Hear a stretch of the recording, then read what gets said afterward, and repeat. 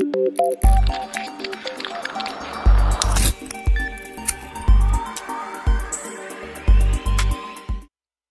Olá, concurseiros de plantão, aqui que vos fala, professor Gabriel Pacheco. Vamos seguindo aqui, né, gente, com as nossas aulas sobre fiscalização e contratos de TI, contratações de TI, auditoria de contrato de TI, enfim, não é? E aqui, gente, nesse nosso bate-papo, eu quero trabalhar com vocês intensamente sobre o quê? Os tipos de contratações que são utilizados na tecnologia da informação, o que automaticamente vai influenciar gigantescamente no uso ou não de um pregão da Lei 10.520. Aí a galera já vai começar a falar, pronto, o Pacheco ficou doidão de vez, né? Desde quando, né? Pelo amor de Deus, se a gente tá falando de tipos de contratações, a gente vai falar de modalidade. Gente, o que, que vocês têm que lembrar já logo de início? Modalidade é o jogo. E o que, que é o tipo da contratação? O tipo da contratação é a regra que você vai trabalhar, não é? É a regra que você vai trabalhar para poder dizer se você ganhou ou não o jogo. Não é isso? Isso. E o que, que eu falei para vocês? Pacheco, você falou para gente que em contratações de tecnologia da informação, nós iríamos utilizar sempre menor preço ou técnica e preço. Não foi isso que eu falei? Sim. E o que, que você já lembra da Lei 10520, você que já estudou contratações na administração pública? Pacheco, eu me lembro que a 10520, ou seja, quando você fala de um pregão, você vai utilizar um pregão quando você estiver lidando com o quê? Com bem e serviço comum. Todo mundo lembra dessas características? Lembra. Agora vamos ver como é que isso se cruza dentro de uma contratação de TI. Cara, você nunca mais vai errar esse tipo de questão. Beleza? Vamos lá então. Olha lá. A Lei 8666 nos traz que os tipos de licitação melhor técnica, ou técnica e preço, isso no seu artigo 46, serão utilizados quando? Serão utilizados exclusivamente, ou seja, exclusivamente, ou seja, não existe uma contra-regra né, em relação a isso. Joia? Para o que? Serviços de natureza predominantemente intelectual, em especial na elaboração de projetos, cálculos, fiscalização, supervisão e gerenciamento e de engenharia consultiva em geral, e em particular para a elaboração, inclusive, de estudos técnicos preliminares e projetos básicos executivos, ressalvado disposto no artigo no parágrafo 4 do artigo anterior, PEI. Ou seja, falei em melhor técnica, falei em técnica empresa e, e preço, a ideia é o quê? Cara, a ideia é que nós trabalhemos aqui com coisas que dependam do que do desenvolvimento intelectual de quem está prestando aquele serviço. Todo mundo pegou isso? Pacheco, peguei. Quando você abre o decreto 7174 de 2010, certo? Ele já nos apresenta uma outra característica complementar. Que, que é, afinal de contas, o decreto 7174, Pachecão?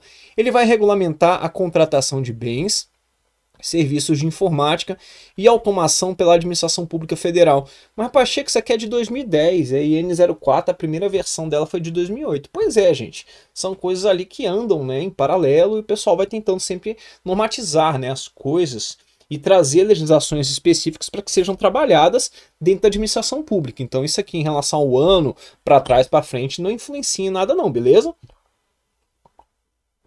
Olha lá, serviços de informática e automação pela administração pública federal, direta ou indireta pelas fundações instituídas ou mantidas pelo poder público e pelas demais organizações sob o controle direto ou indireto da União. Beleza? Olha, a ideia aqui não é aprofundarmos o decreto 7174. Isso aqui é foco de outras pílulas de conhecimento que nós vamos trabalhar, tá bom? Mas é pegar o quê?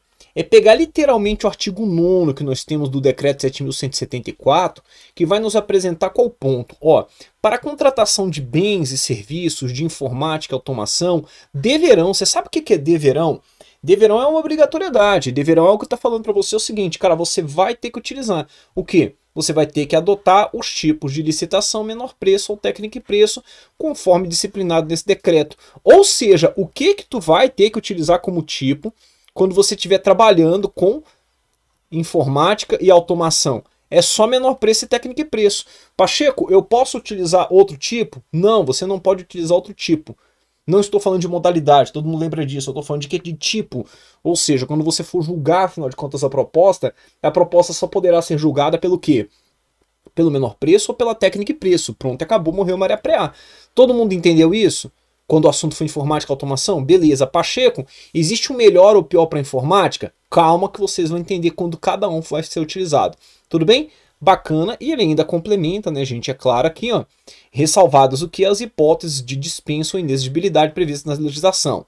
Parágrafo 4 a licitação do tipo técnica e preço será utilizada exclusivamente para o que? Bens e serviços de informática e automação de natureza predominantemente intelectual, respeitando inclusive o que nós temos na Lei 8666, não é? Ah, é mesmo, né, Pacheco? Você falou melhor técnico, técnica e preço, de acordo com a Lei 8666, serão utilizados para o quê? Todo serviço de natureza predominantemente intelectual, beleza? Quando da adoção do critério de julgamento técnica e preço, será vedada a utilização da modalidade convite, independentemente do valor. Tópico frequentemente cai em prova, tá? Acho que fica até claro, né, gente? Se é técnica e preço, não é para ser um negócio tão simples, não é para ser um negócio tão comum, não é? E, e, e, quando você fala da modalidade convite, além do valor ser baixo, é para ser um processo um pouco mais rápido, um pouco mais ágil, tá joia? Anotaram então? Serviço de informática, serviço de informática, bem de informática, que for o que de predominância intelectual, você sempre vai utilizar o que? O tipo técnica e preço. Anotou essa? Beleza, Pacheco. Quais são os únicos dois tipos que serão utilizados em contratações de TI? Tipo técnica e preço e menor preço. Todo mundo anotou isso? Certo. E Pacheco, onde que entra o menor preço? Por incrível que pareça, para você entender como que funciona esse esquema do tipo de contratação, a gente tem que dar uma buscada lá na IN 01 de 2019, a gente tem que dar uma rebuscada também onde? Lá na própria Lei 10520, tudo bem? A lei, a IN 01 de 2019, ela me diz o seguinte, que a fase de seleção do fornecedor vai observar o que? Diversas legislações que nós temos. A Lei 8666, ah, e a nova lei de contratações também, também, gente, pode ficar tranquilo que a nova lei de contratações também entrará aqui, né, com certeza, né, mas aí nós temos todo um aparato legal ainda de atualização que precisa ser feito em relação à nova lei, então por enquanto, e a lei 8666 ainda não foi, inclusive, não é, gente? Ainda não saiu do circuito, né? Ela é uma lei que ainda está válida até os dias atuais, tá bom? Então vamos lá. Na Lei 10.520, que é a Lei de Pregões, Decreto 9.507, 3.555, 5.450, 7.174, 7.892. Tanto que vocês vão ver que na própria IN01, a fase né, de seleção do fornecedor é uma fase curtinha, tá? E respectivas atualizações supervenientes. Parágrafo único. É obrigatório que a utilização da modalidade pregão. Se, oxi, ok, ele está obrigando a modalidade pregão? É, para o quê? Para as contratações de que trata essa instrução normativa, sempre que a solução de TI for enquadrada como bem e serviço comum. Pronto. Então, qual a segunda regra que eu quero que vocês sigam aqui? Ó? Primeira regra, falou que a contratação de TI, quais são os tipos que você vai utilizar? Menor preço, técnica e preço. Quando que eu vou utilizar técnica e preço? Contratação de predominância intelectual. Pronto e acabou. Valeu? Estão pegando como é que acontece? Peguei, afinal de contas, alguma coisa que é bem serviço comum. Entendeu? Que é de tecnologia da informação. Obrigatoriamente vou ter que utilizar pregão. Anotaram essas características? Beleza, se vocês anotaram, seguimos aqui adiante. Uso do pregão para aquisição de bens e serviços de TI. Lei 10.520, para quem não conhece, se estiver conhecendo agora, entendeu? Sejam muito bem apresentados. Aqui meu foco não é destrinchar a Lei 10.520, mas trabalhar com os tópicos que estão relacionados a contratações de TI, não é? Institui no âmbito da União, Estados, Distrito Federal e municípios, nos termos do artigo 37, inciso 21 da Constituição Federal, a modalidade de licitação denominada pregão.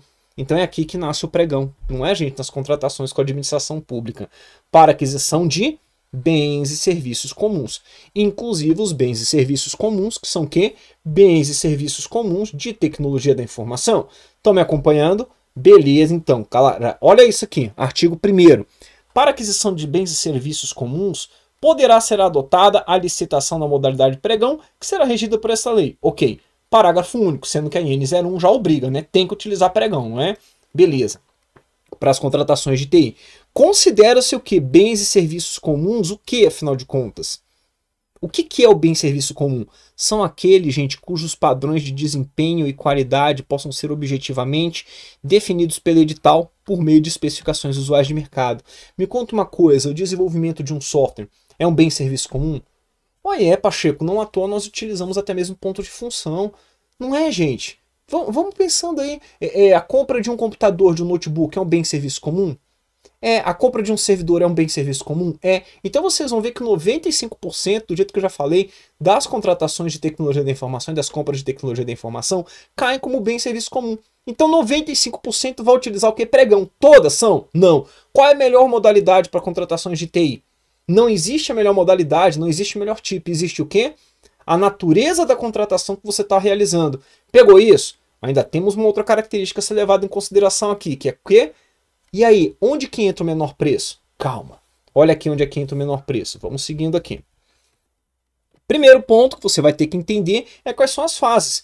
Peguei a Lei 10.520, vocês verão que nós teremos o quê? Primeiro, artigo 3 uma fase preparatória do pregão. Essa fase preparatória é a fase que vai fazer o quê?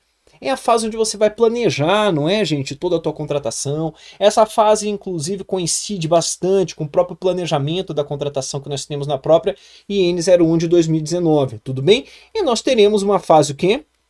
Externa, que será iniciada com o que? A convocação dos interessados e observará as seguintes regras. Lá no inciso 10, o que, que ela nos apresenta? O que, que o artigo 4 nos apresenta? Para julgamento e classificação das propostas será adotado o critério menor preço. PEI. Pronto, é onde entra menor preço. Entenderam? Observados os prazos, observados os prazos máximos para fornecimento, as especificações técnicas e parâmetros mínimos de desempenho e qualidade definidos no edital. Pacheco, ou seja, falei Afinal de contas, ó, vamos pegar do começo. Falei sobre licitações e contratações de tecnologia da informação. Quais são os tipos obrigatórios a serem utilizados? Menor preço, técnica e preço. Anotou isso? Anotei, Pacheco. Falei que a minha contratação ela tem a predominância, o quê? Ela tem a predominância de quê? Intelectual do que está sendo entregue. Eu vou utilizar o quê? Técnica e preço. Por quê? Se é intelectual, eu consigo pontuar a técnica. É mesmo, não é? Eu posso pontuar a técnica. Beleza. Estão pegando isso? Falei que eu estou contratando um bem e serviço comum. Eu vou utilizar o quê? Obrigatoriamente a modalidade pregão. Por quê? Porque um bem e serviço comum ele tem qual característica? Ele pode ser medido, ele pode ser quantificado, pode ser qualificado pelo quê? Exatamente, gente, por métricas e padrões de qualidade que você tem no mercado. Não é assim que acontece? Onde você obrigatoriamente tem que utilizar o que? O pregão e qual tipo? menor preço. Tu nunca mais vai errar isso na tua prova. Para isso que nós estamos trabalhando aqui no Tec Concursos com o quê? Com essa qualidade de aula que eu estou trazendo para vocês. Você nunca mais vai errar isso na tua prova. Pegaram como é que funciona? Anotou tudo? Pacheco, anotei. Agora, por que somente o menor preço? Gente, porque simplesmente a técnica, a técnica, não que ela não vai ser julgada, ela vai ser considerada? Vai, mas ela já tem um sarrafo pré-definido. Sabe por quê? Sabe os padrões de qualidade que você tem de mercado? Pacheco, sei, isso já te trouxe a técnica. Pã! Pegou como é que funciona? Beleza? Beleza, Pachecão. Então vamos lá, gente, vamos seguir mais um pouquinho adiante. Artigo 5 é vedado o quê? Primeiro ponto, né? Exigência de garantia de proposta. Gente, isso aqui não tem nada a ver sobre o quê? Exatamente, sobre a garantia que você vai ter que pagar em percentual para que essa garantia seja o quê? Seja descontada as multas, inclusive no futuro que você tiver. Tudo bem? Isso não tem nada a ver. A garantia de proposta é o seguinte: é você pagar para ter acesso à proposta. É proibido, tá bom? Aquisição do edital pelos licitantes. Tá vendo? Você não pode adquirir edital como condição para participação do certame. Automaticamente você não vai pagar algo para poder ter acesso à proposta. Pagamento de taxas e emolumentos salvo os referentes a fornecimento do edital, que não serão superiores ao custo de sua reprodução gráfica e aos custos de utilização de recursos de TI, quando for o caso. Porque o cara vai te fornecer edital? Vai, mas não precisa, ele não é obrigado a pagar por você para que você tenha acesso a edital impresso ou algo do gênero, não é? Artigo 6 O prazo de validade das propostas, gravem isso aqui. O prazo de validade das propostas na modalidade pregão será de quem? De 60 dias, se outro não estiver fixado no edital. Outro ponto, o que te, que te diz especificamente se você vai utilizar pregão ou não? Bem e serviço comum, contratação menor preço, não tem nada a ver com valor, não tem nada a ver com valor. Qual é o tempo que você tem, prazo de validade da proposta? 60 dias, tudo bem? Decore essas características, eu tenho certeza que vai cair na questão que você estiver resolvendo aí. Decreto 5.450 de 2005, o que, que ele nos traz?